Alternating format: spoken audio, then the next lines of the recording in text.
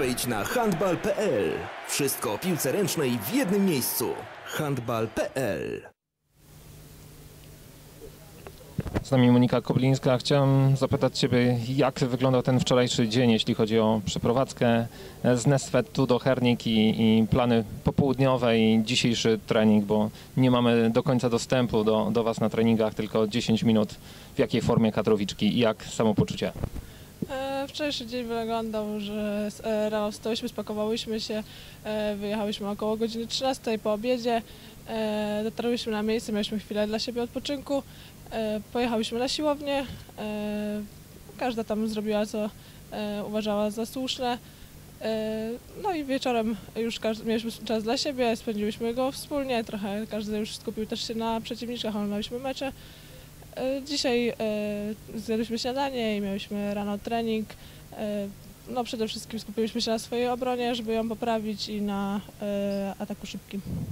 Trenujecie też karne na treningach, nie mamy dostępu do tego, co się dzieje. Jak wygląda ta skuteczność Wasza w takich sytuacjach sam na sam i przy rzutach karnych na treningach? No dziewczyny zostają po treningach rzucać rzuty karne, te, które będą wyznaczane przez trenera. Jutro Węgierki to rywal, który wzbudza w tobie respekt, czy wręcz e, strach, patrząc na to, jakie tam zawodniczki występują? E, Nie, myślę, że strach nie, e, respekt na pewno, ale myślę, że są w naszym zasięgu, tylko wszystko zależy od nas, jak my podejdziemy do tego spotkania i jak zagramy, bo no nie oszukujmy się, trzeba poprawić naszą grę, ale jesteśmy w stanie to zrobić. Myślisz, że po tym, co widzieliśmy w Nesfet, taka metamorfoza na ten jutrzejszy dzień jest rzeczą realną, bo mało w nas optymizmu i też wśród dziennikarzy i wśród tych komentarzy, nie wiem, czy czytacie, no raczej tak negatywnie byłyście oceniane za tę pierwszą postawę w pierwszej fazie turnieju. E, Nie czytamy, my zapominamy o tym meczu i na pewno jesteśmy e, w stanie pokonać Węgierki. E, Zmieniłyśmy miejsce, zmieniłyśmy warunki, wiele rzeczy teraz zmieniłyśmy i mamy nadzieję, że też naszą grę. My na to bardzo mocno liczymy jutro o godzinie 18. Wielki mecz Polska, Węgry, Monika Koblińska. Miejmy nadzieję, jedna z jutrzejszych bohaterek.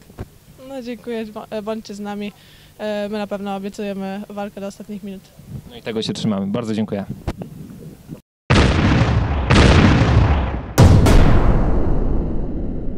Handbalowe bransoletki specjalnie dla Ciebie. Dwa rozmiary, aż 10 wersji. Handbalowe bransoletki I Love Handball są w pięciu kolorach. Żółtym, pomarańczowym, czerwonym, różowym, zielonym i niebieskim.